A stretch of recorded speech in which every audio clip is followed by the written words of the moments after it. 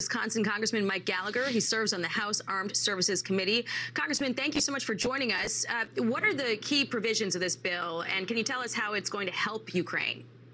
Well, here we are almost uh, 2 p.m. here in D.C., and we still don't have the legislative text of the bill. Uh, and given that we are talking about a massive sum of money here, that's a little bit worrying. We need the details. There are certain things that I would like to see in this bill, particularly anti funding for anti-ship missiles, long-range artillery, air defense, vital weapon systems that we know the Ukrainians can use now.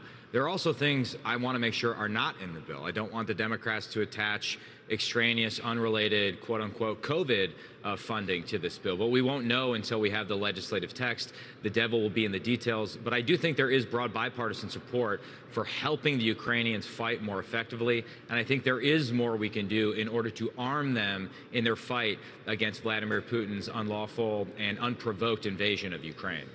Well, we do know the president expects COVID aid and the Ukraine aid to move separately to get this through.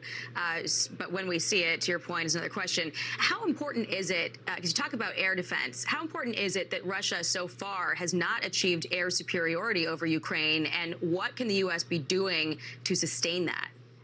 Well, there are certain uh, air defense systems that we can either provide to the Ukrainians, or there are certain assets uh, that our NATO allies have offered to uh, give to the Ukrainians, in many cases, old Russian weapon systems that they want to get rid of. I think this actually presents a huge opportunity for us over the long term because if we can simultaneously arm the Ukrainians and help them protect their forces and their civilian population, while also then turning around and replacing Russian weapon systems with American weapon systems for our NATO allies, that's a win-win right there. The other opportunity we have is to really revitalize our defense industrial base so that we can start stockpiling munitions. We've blown through seven years worth of Javelin missiles in Ukraine. 30% of our Stinger stockpile. These are missile systems that we are going to need going forward, particularly if we are going to try and help Taiwan defend itself from a prospective Chinese invasion of the island. And that is what really worries me over the next few years. Yeah, I was thinking about asking you that later on in this uh, this interview. There's a big concern right now about depleted stocks um, and how the uh, you know, defense contractors may be partly to blame for that, uh, how the Pentagon budget might be involved in that. How, how do you see us resolving this, and what's our timeline?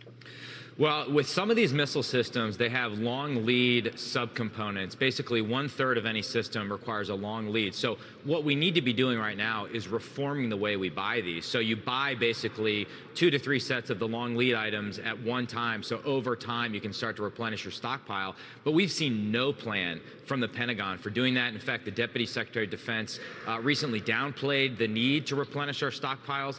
That is completely the wrong message right now. We urgently need to rebuild our stockpiles and we need to learn the lessons of Ukraine and apply it to Taiwan. And the okay. lesson, in my mind, is that you need to arm your allies before the invasion happens. Well, we've run out of time. I appreciate you being on with us, Congressman Gallagher. Uh, love talking to you. Hope to have you back again soon. If there's anything to your point that should highlight the need for uh, a supply, it is what we're seeing right now in Russia and Ukraine. Thank you so much.